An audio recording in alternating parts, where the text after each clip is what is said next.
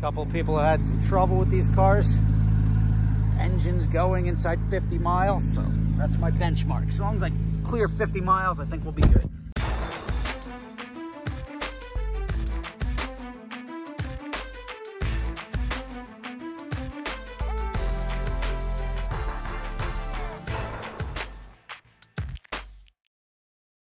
Hey everybody, Rob Ferretti here and Happy New Year's. And why do we love New Year's so much, right? We can go drink any night.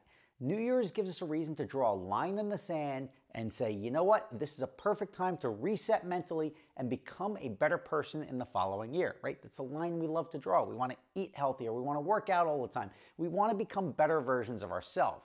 And good news, that's where today's video sponsor, Ritual, is here to help.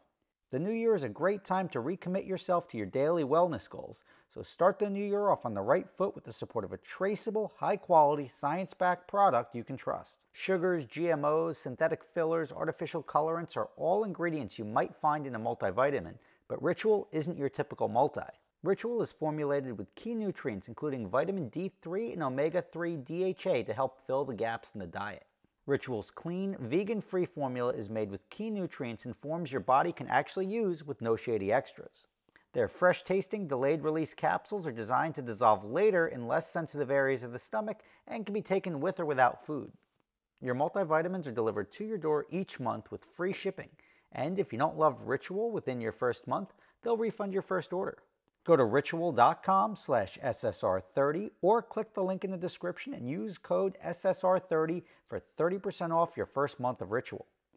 That's ritual.com slash SSR30 or click the link below in the description that's going to take you to their website. Use promo code SSR30 and you could start living a better lifestyle today while saving money. What's going on everybody? Rob Ferretti here and it's a good day because I got my first Z06 in and pretty excited about this one. This actually came in uh, probably two weeks ago and just getting around to coming out to uh, George Matick Chevrolet here in Detroit to pick it up. Now, why did I wait two weeks to get it? Well, the answer is I like to drive these home because this car needs 500 break-in miles and I'm about 610 miles from home. So this allows me to drive it, get a feel for it. And honestly, like normally I would just stick it on a transporter. I was a little bit excited about this one. This is the quickest way to get 500 miles in the thing because starting effectively tomorrow, this car will be uh, able to be rented. This is the first of the Z06s I have. The one that I want for myself is gonna have the Z07 package. The Z07 package was limited currently. Uh, there was a lot of uh, backlog on the carbon bits. So this order was able to get done for the rental company quicker. And I'm gonna put the higher wicker bill on the back on the wing here. It's got the uh, taller wicker bill and that'll make it look a little bit more aggressive. But this car, carbon brakes, I mean, I'll, I'll do the whole build out, what I put into it. Um, I've got a nine hour drive ahead of me, which I'll probably try to shave an hour or two off of, but I do want to get on the road relatively soon and start making my way back. Let's look at this engine here, give you a little preview. So funny, the uh, smell of the new Corvettes has been the same for since I got my C5 20 plus years ago. Oh look, handcrafted by Mike Ward. Thank you, Mike. This is going to make many people a smile, if you know what I mean. This is uh, this is not your typical C8 Corvette, and this is going to be uh, pretty much a a winter game changer for me here in the New York region. Now the car MSRP'd out at 133 roughly. Uh, and this, the idea behind building this was to build it as close to a Z07 as we could without delaying the production, waiting on parts. So we did the carbon brakes, uh, we did all the, the upgrades. Now, I'll, again, I'll go through all the breakdown of what's in the car and everything like that, but this is me being happy, being excited to drive something because I, as much as I enjoy renting cars, I don't really care too much to drive stuff. Like I, I, don't, I didn't get super excited about like my third or fourth C8. This one actually has me excited. I didn't go to any of the GM press stuff. I don't know why I don't get invited to that stuff. I don't, I don't list myself as a journalist, so I never get those invites. But I saw a lot of people had a lot of fun with these things, and they said a lot of good things. And I'm excited to experience this for myself and let you know my thoughts. Know, I'm sure there's been a thousand YouTube videos about the differences between the C8 and the Z06, but if you haven't seen those and you're not aware what this car is, this car is special because this is like a 458 Corvette. I'll be able to do a side-by-side -side comparison because I also have another orange one at my shop, which is a 2023 uh, non-Z06. So we'll get a good side-by-side -side as to the uh, differences between the two. All right, let's, uh, let's do a first start. What do you think?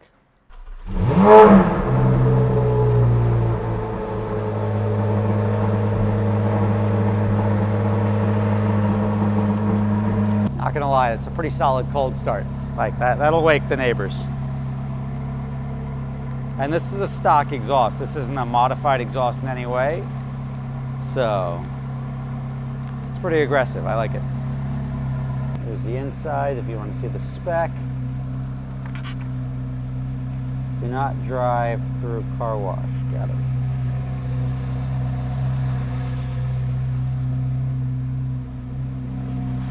All right. Six miles on it. So I'm 494 miles away from having a good time. All right, I'm excited. It's gonna be a fun trip. All right, Z06, nine hour road trip coming up. Detroit to New Jersey. A couple people had some trouble with these cars.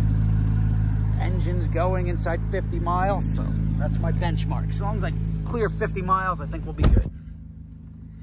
All right, buckling up, and here we go. All right, we are two miles into the trip here, leaving Detroit.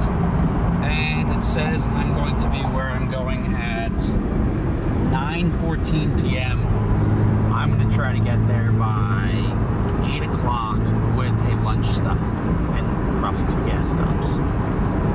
That's my goal. I'm to be at Demora in Norwood, New Jersey at 8 o'clock. Let's see how I do. I want to talk about running cool. I'm uh, 38 miles on the car, so the car is obviously at temperature. The oil temperature is 129. That's that runs cool. But to be honest with you, like 129 is a very low operating temperature. Right. Wow, pretty cool. So first little um, jaunt, I'm gonna say. Jury's out as far as best Corvette ever. Hopefully, you know. All right, an important test when spending, for the people that are spending $100,000 over a list for something is, does anyone else care other than you? So I'm gonna be having my Pizza Hut here in Ohio, and I'm gonna observe and see if anyone gives a rat's ass about the 2023 Z06 right there, right off the highway, which passed many of them on their way through.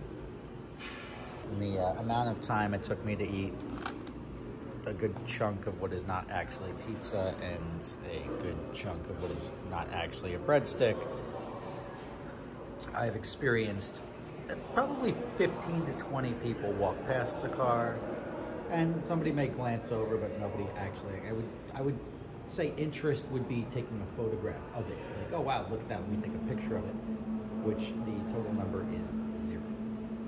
All right I lost 30 minutes to a gas stop and lunch was very underwhelming but now it says I'm going to be there at 908 so I have to shave an hour and 10 minutes off and probably have another gas stop 200 miles in and we're doing good. A lot of people have had issues, but they're generally like right out of the gate, like 10 miles, 50 miles, whatever, something fails. After 200 miles, the anxiety is pretty much gone. Knock on something. A lot of people have complained about like transmission issues and whatnot on Corvettes, the C8 Corvettes. I can tell you I've got over 100,000 miles on mine, uh, the four that I had and legitimately like zero problems. So, see if you can see the uh, heads up display. I got it tilted the right way. There you go. Pretty cool. And I have to say, eighth gear does make this car bearable to drive on road trips. It's one of those things that if you have a drone, it's going to give you a headache after a while. And seventh gear, me just kick it down a gear.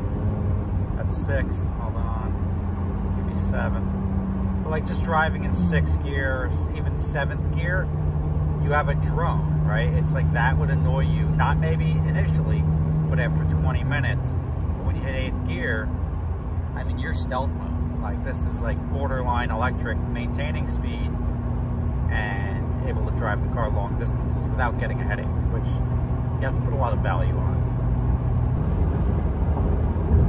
Just crossed 400 miles here in Pennsylvania and average fuel economy 17.6 highway. And that's using a lot of eighth gear.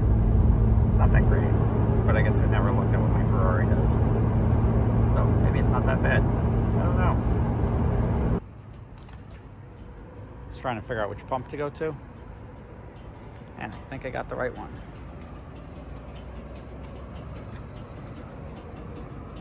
Mercedes wheels.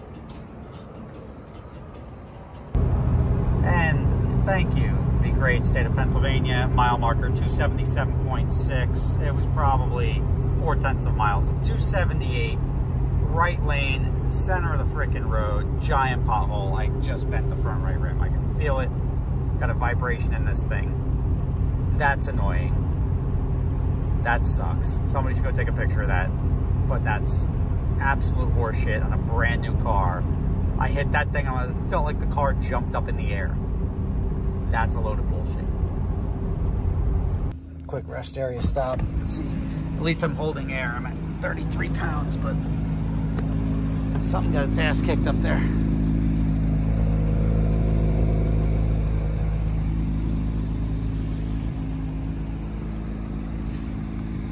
Let's see. I don't even see a bubble.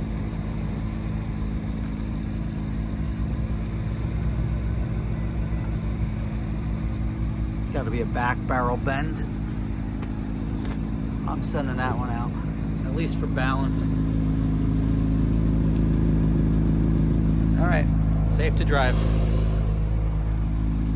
I had a fighting chance It's with a half hour lunch break and then two fuel stops. And then I stopped to check my tires. Still a chance. Uh, I don't know. It's uh, what is it? It's 802, which for calling my shot destination will be on the right. eight hours ago, that wasn't bad. I was legitimately like one like tire stop check. So that two minutes I pulled over into the rest area to check the tire was the difference of me calling that shot down to the minute eight hours ago to me pulling up to Demora to have dinner. Like I even if I live down the road from here Your and I usually get here later than if I called eight o'clock. All right, dinner time. Back here at Gotham Dream Cars and figured out my noise. There was a noise that I didn't bring up yesterday. I thought the seat just had to be moved up further because I was hearing a rattling here, and these are these cool carbon seats. So I thought it was just hitting the uh, the back firewall. It was actually just this thing wasn't snapped in, so that was like tapping uh, on uneven surfaces. But uh, I did find out the pothole at mile marker 278 going eastbound on Route 80. I was looking at the front wheel much more in depth. And then I got back, I called ETD over here in Englewood. Was going to take this off and run it over because I didn't see any damage on it. But I figure it's just got to be a back barrel bend or something like that. And then the way the car was parked, I saw the back wheel and I was like, oh yeah, that's it. That one, uh, this is driving down a highway which which didn't have any potholes, so I wasn't really on the lookout for potholes. And that's in between the spokes, which is why it probably caved versus the front, which it probably took a bigger impact. Although there's a little bit less weight up here than back there, took a bigger impact, but probably hit on the spoke somewhere. So I'm going to take these both off, bring them over to ETD, get this one straightened. Of course, it's always nice to damage your car going straight on a highway. Uh, thank you, PADOT, whatever you're called. I would uh, get out to mile marker 278. If anyone wants to go to mile marker 278 and send me a photo of this gigantic crater in the middle of the, like, legitimately in the middle of the road on the left lane at mile marker 278. By the time I looked down, I'm like, oh boy. And it launched the car up in the air, which is wild. I was like, well, that hurt. I thought I thought there was no way I didn't blow out a tire, let alone just bend a wheel, but I definitely noticed. Now, I mean, I'm not gonna lie, it still drives fine-ish, but I did notice there was definitely a bend. I've got a good uh, butt dyno for stuff like that. But it's back. It'll be rentable in just say 48 hours. You got to get uh, the other GPS devices in it and we're off to the races. I would say, if you were going to ask me, best Corvette ever produced. That's where I'm. That's where I'm going with this one. So it's definitely an experience. It's definitely a much more car than the C8. The only complaint I would have is it looks a little bit too similar to the C8, and that's where the Z07 performance or the uh, the carbon package comes in. But those were sort of back ordered for parts right now. And all the influencers got it. So you make it think it's available, but uh, this wasn't done under the influencer program. This was just done under uh, dealer allocation. So there you go. There's my thoughts. Uh, I will do some comparisons with the 458, which is what they benchmarked this car with. And uh, even with the orange C8, but that's out on rent right now. So now I have two 2023 C8s one Z06 and one convertible. Stay tuned.